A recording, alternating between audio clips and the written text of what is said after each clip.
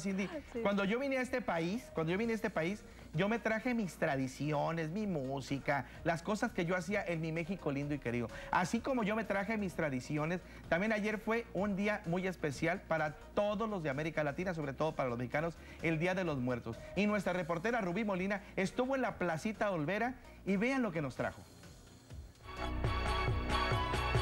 México es un país con mucha riqueza, sobre todo en tradiciones. Uno de los más importantes es el Día de Muertos y aquí les mostraré cómo se celebra. Con la herencia de la cultura indígena, los latinoamericanos que festejan el Día de los Muertos aprovechan esta ocasión para acercarse a sus queridos difuntos y celebrar la muerte desde otra perspectiva. Puse este, un altar en la casa y también puse igual flores y veladoras y el pan de muerto y dulces y lo que a mi papá le gustaba, su cerveza y todo lo hice igual también aquí. Y se ve de que aquí lo celebran con, con fervor a sus muertos, aunque dicen que no los extrañan, pero que no los olvidan. Pero hay veces que los recuerdos de los que se nos han adelantado pueden ser aún más difíciles este día. Con lágrimas en los ojos, llorando, ¿qué te, qué te puedo decir? Tengo mis difuntos que se me han ido hace poco, mi papá. Pero aquí estamos echándole ganas. Sí, a mi madre, a mis hermanas y parte de mi familia también. Lo que le gustaba al muerto, como a mi papá le gustaba el relleno negro.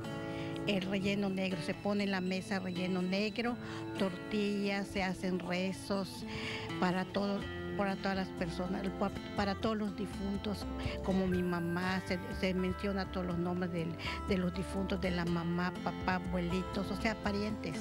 Nos encontramos con el padre de la parroquia y nos cuenta por qué es importante celebrar el Día de Muertos.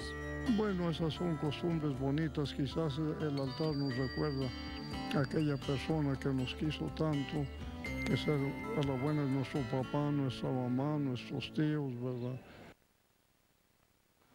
Bueno, es de verdad que es muy emotivo este reportaje, así como le contaba desde un principio esas tradiciones que nosotros traemos aquí a este país que mantenemos nuestras tradiciones y seguimos yendo a los panteones, seguimos yendo a visitar a los seres que más hemos querido en esta vida. Pero ¿sabes qué, Manfredo? Yo te voy a decir algo, no es para que se pongan tristes. El mexicano, pues hace celebración de esto, Manfredo. Les llevan su comidita, su veladora, pues eh, hay que sonreír a la vida porque es parte de la creación humana de Dios, por supuesto. Tienes que, naces no y mueres. no es que uno se ponga triste, pero sí llega, pues, eh, muy melancólico, recordar a las personas que más has querido en esta vida, las personas que se te adelantaron en este viaje y pues es, es muy apapachable. Además, debemos de estar felices de todos modos. Así es, Manfredo, hay que sonreírle a la vida y con esto nosotros nos vamos a una breve pausa. Regresamos con más aquí en Con Chile y Limón.